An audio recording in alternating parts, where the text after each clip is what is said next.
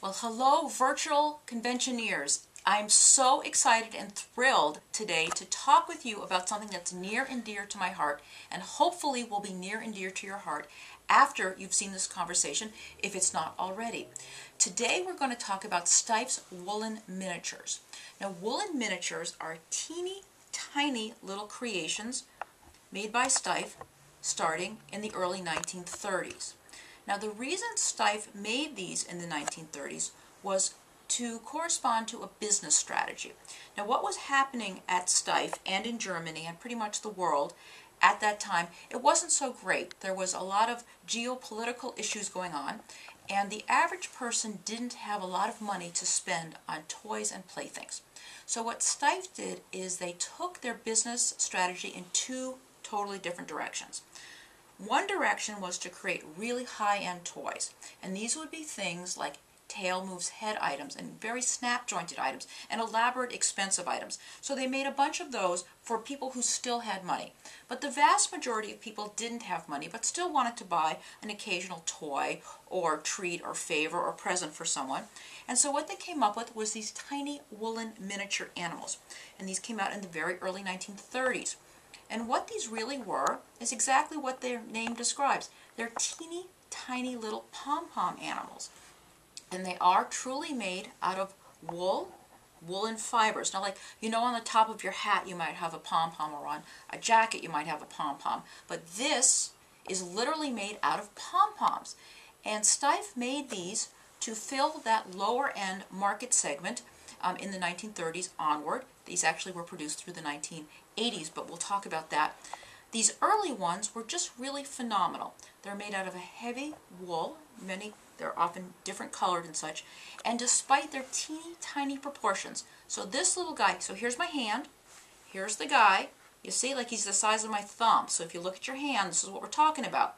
Despite the fact that this little tiny guy, who's one of the very first woolen miniatures that Steiff produced, is only the size of my thumb.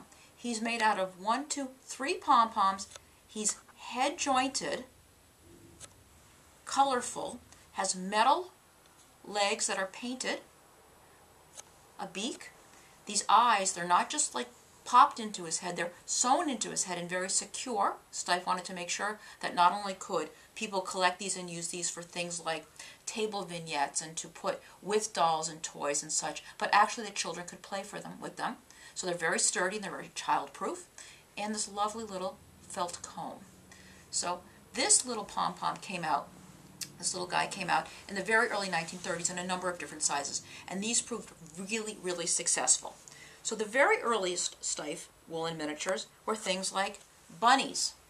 And you can see this lovely little bunny, which is made out of, he has his little tiny pom-pom tail, two pom-pom arms.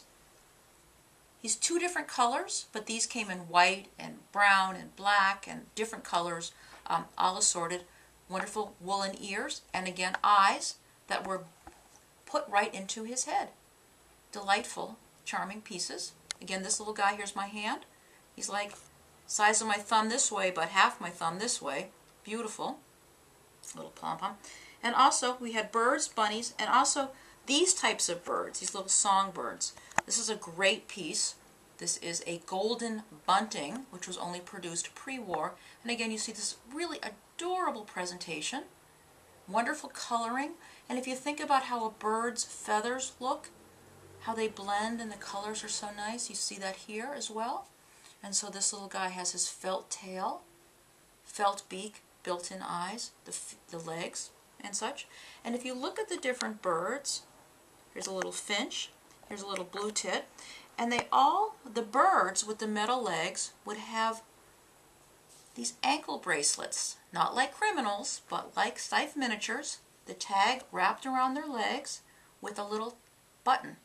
And you can see that's how these little birds were marked as Steiff because they didn't have ears, clearly, but adorable. The bunny has her button in her felt ear. And this chick would have had a little bracelet here. This is one of the earliest pom-pom animals produced, and I just love her. I found her at a, a, a doll event and I just couldn't believe she was sitting in the case and there she was. But if you think about these small miniatures, how darling they are and how wonderful they would look in the arms of dolls or how wonderful they would look as vignettes for an Easter celebration or a Christmas celebration or a new baby or a birthday. Just wonderful, wonderful little birds. So these were the first woolen miniatures. Now, we're going to talk about the timeline. So Steiff realized how popular these were. These things just hit the roof in excitement. People love them. So Steiff went from these sort of basic ones and started to produce really fun items. And let me show you this wonderful woolen miniature. Now this one is about the size of, oh, I'd say like a pool ball or an apricot. He's a little bit bigger, but still wonderful coloration. Look at the wonderful coloring and the detail on him despite his size. He has pom-pom feet, wonderful felt tail, red felt comb, and these wonderful glass googly eyes. And his little button, it's okay to look where the sun don't shine, is right here on the bottom of his tail feathers. You see his little tiny button. And despite his size and his relatively inexpensive construction, also head jointed. Imagine him in the arms of like a farmer little boy. So adorable. And another one of my favorites is this pom-pom duck. Crazy. He's got a little pom-pom on his head, and someone has told me that some ducks do have that in life, so it's not unusual that Steiff would replicate that in this little pom-pom. He's got this flappy little beak, and his feet, his button would have been in his feet, but these are adorable. He even has a little airbrushing detail. So, the line continues. These continue to sell really well despite the poor economic times in Germany. These are very popular. They're given as gifts for children for birthdays. They're party favors. They're gifts for adults. They're just fun gifts. And they're not expensive. When Steiff launched these, they were about 30 cents each, which is um, wonderful. And when you think about what they sell for today, that would have been quite a bargain to buy many of them then. So one of my favorite types of woolen miniatures, and I know our friends in London are going to love these are woolen miniatures wearing slippers. So Steiff did a lot of these fun little novelties with the woolen miniatures. And if you look at these woolen miniatures, here we have a bunny, here we have a mouse, and here we have a beetle. And for example, you see the beetle with his wonderful coloring, his funny little begging arms. He even has his antenna. That's not bad. Look at this guy. He's like an inch. Very sweet. And he's got, well, I call them slippers, but they might be clogs. Here in Cambridge, we might think of them as clogs. And he's got his button and tag around his leg. Absolutely darling. Could these be more precious? So Steiff made these with slippers, and they also made them with little hats. They made a wonderful raven with a hat on it. And they made wonderful uh, animals in clothing, for instance, dressed as a bridal couple. So these wonderful woolen miniatures, often done in boys and girl pairs, and also in different colors. Really fun and so much delightful. These today sell for the hundreds or thousands of dollars because they're so rare and so ephemeral. If you see one, buy one. Fabulous.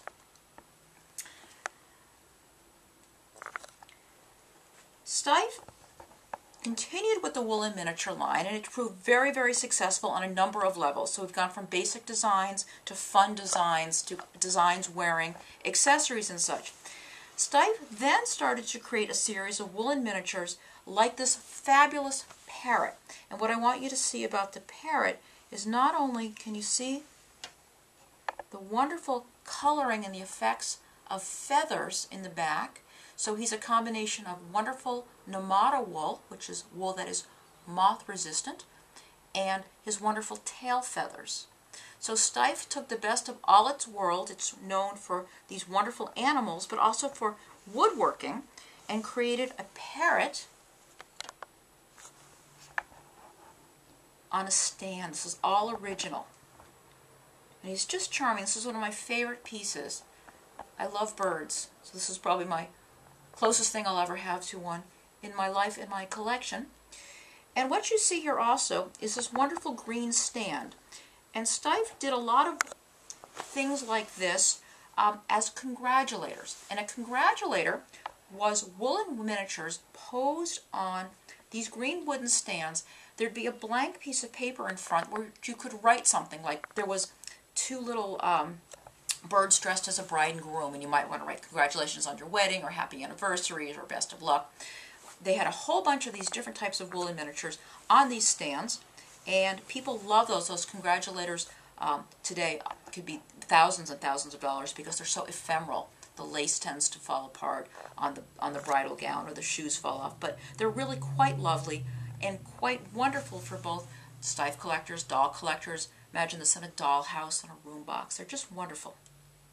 So in addition to these type of accessories, just before World War II, Steiff also used these woolen miniatures on things like ink wipes and um, pin cushions and on the, the, the, the, the weebly wobbly toys. They also put them on other toys for children. So they use these woolen miniatures throughout their line to not only as its own line, but as a clearly decorative items, play items, fun items. They're just wonderful. And the pre-war ones especially resonate with a lot of collectors because of their ephemeral qualities and their sort of the absolutely beautiful way they were constructed. So that is the pre-war story.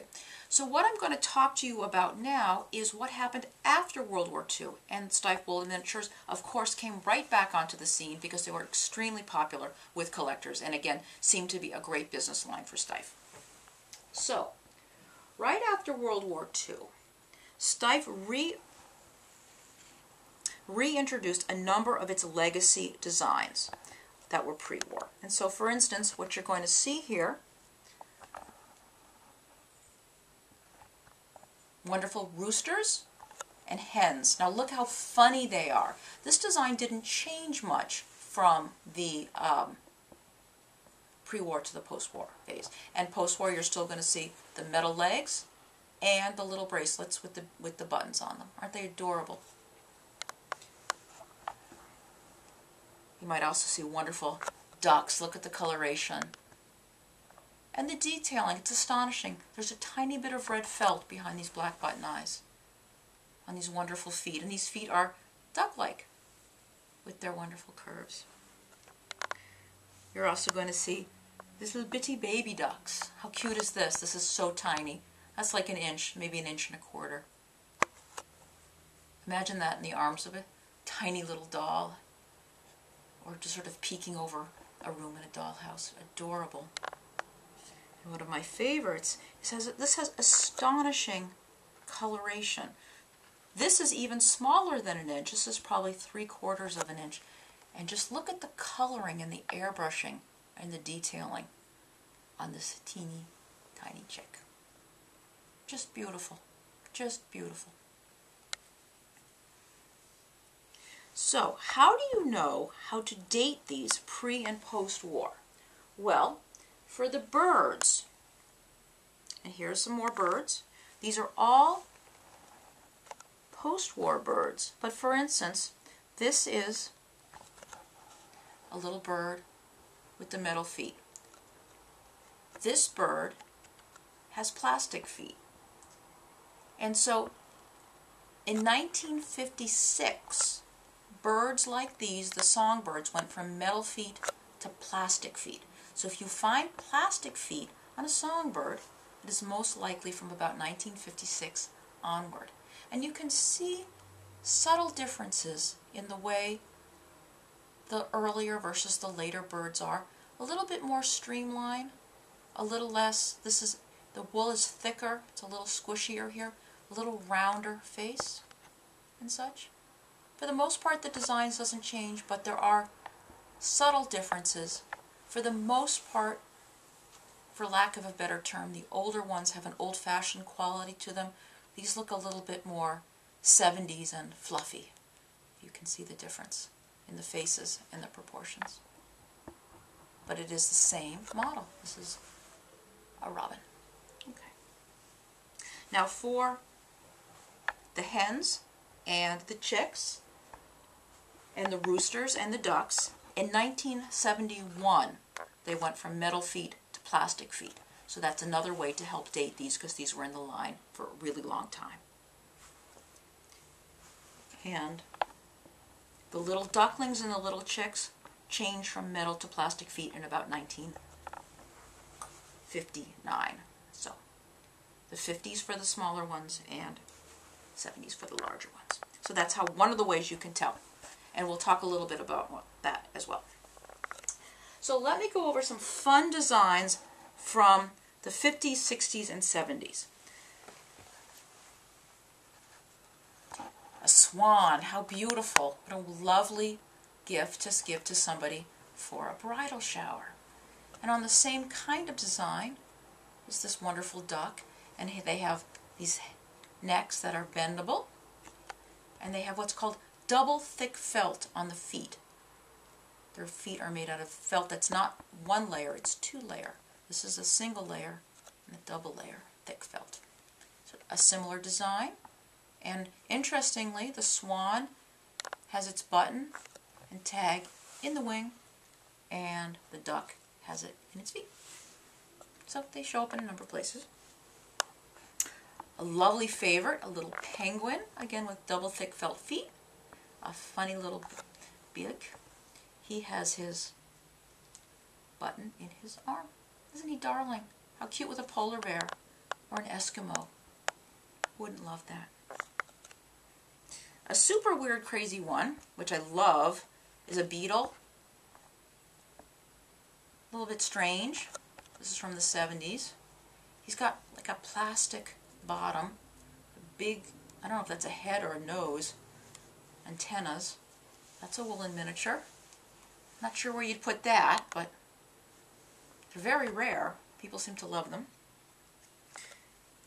And wonderful guinea pigs and hamsters, which would make perfect woolen miniatures. And these are from the 60s and 70s. And see how wonderful the woolen miniature design translates into fur as well as feathers, where you can see that wonderful coloring that you'd see in a guinea pig with, of course, his whiskers. Hamster, best friends. All right. One of the fun things about woolen miniatures, if you're lucky, is that you find them still with their price tags on them. And I just love that. Now, I know you can do this in a number of categories, but there's something about the woolen miniatures where you can see how much they cost. So this lovely guy is from the 60s. His tag says trademark Bloomingdale's, $2. How fun is that? He's, of course, like all wooden miniatures, head jointed, lovely ears, whiskers, beautiful. Here we have a finch. He's also from Bloomingdale's. A dollar thirty. That would have been a good investment. He's got the plastic legs. He's probably from the 60s or the 70s, but he's in great shape. And I don't know, there's just something about the original price tag which really grounds it into a point in time, which I just love. And one of my favorite items, and probably my whole collection, is this FAO Schwarz woolen miniature mouse. And here you see the tags. FAO Schwarz did not put price tags on items until the 60s or the 70s. They put codes, and this code would translate into a price, so people didn't know how much they were actually paying for things. Um, and the code also suggested where the item was located in the warehouse. So there's a lot of information you can find on the tags, and he's in great condition. All right. I would like to show you also the difference between older woolen miniatures and younger woolen miniatures. And this involves um, a scientific experiment. So we're going to set up our technology right here. And you see here a scale. We're going to press it to zero, and it counts down. This woolen miniature is from about 1980. I want you to see how much it weighs. The scale says 5 grams, okay? Now what you see here is the what appears to be the identical woolen miniature, and this is also from, but this is earlier, this is from the 60s. This one weighs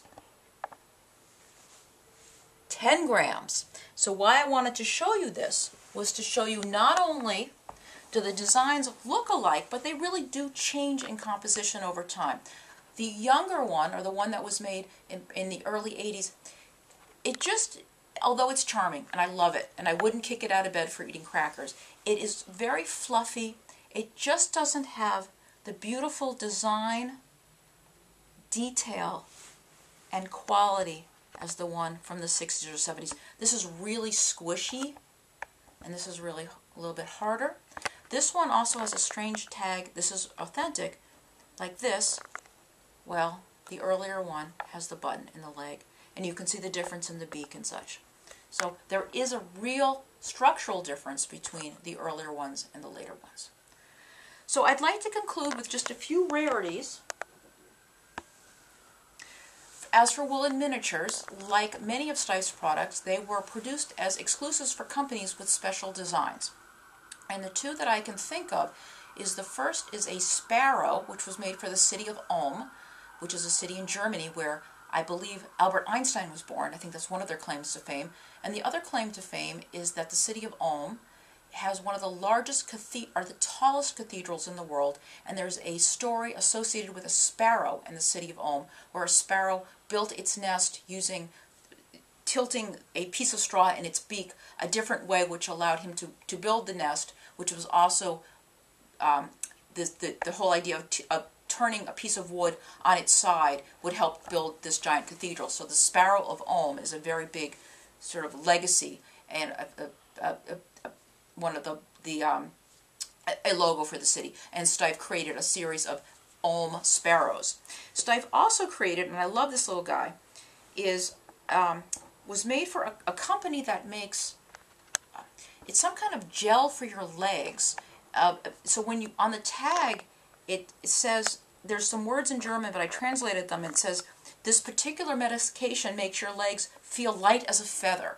So this little green bird was created for the pharmaceutical company so to to uh, symbolize the drug that they made, which apparently helps with varicose veins or something like that. So this is an advertising specialty made of the woolen miniature character, and this is probably from the hmm, the 60s or the early 70s. Very cute. So that's very similar to the Raven, but in green. So those are the advertising specialties. And now ending on a very small note, I'd like to show you the smallest woolen miniature in my collection. This is an uncatalogued hummingbird. And this hummingbird is probably three quarters of an inch with plastic wings. And he has a pin on him. And he's just wonderfully so tiny he doesn't have a button. But I wanted to share this teeny tiny specialty with you that I haven't really shared anywhere else. I don't know of another one, but he's quite darling and is a beautiful example of 1970s woolen miniature craftsmanship. So that's what I have for you today. I hope you are in love with these items as I am. As you can see, you can fill a whole table with them and more and more and never run out of space. So it's a wonderful collectible. They look great with dolls. They're great in dollhouses. They're great for vignettes. They're wonderful gifts. There's, there's no downside. And I hope you, when you find them in flea markets, online, in stores, on Ruby Lane, wherever you shop, think of them in, as a wonderful new addition to your collection or even a new line to collect. So thank you very much. Enjoy the rest of the convention and Teddy hugs.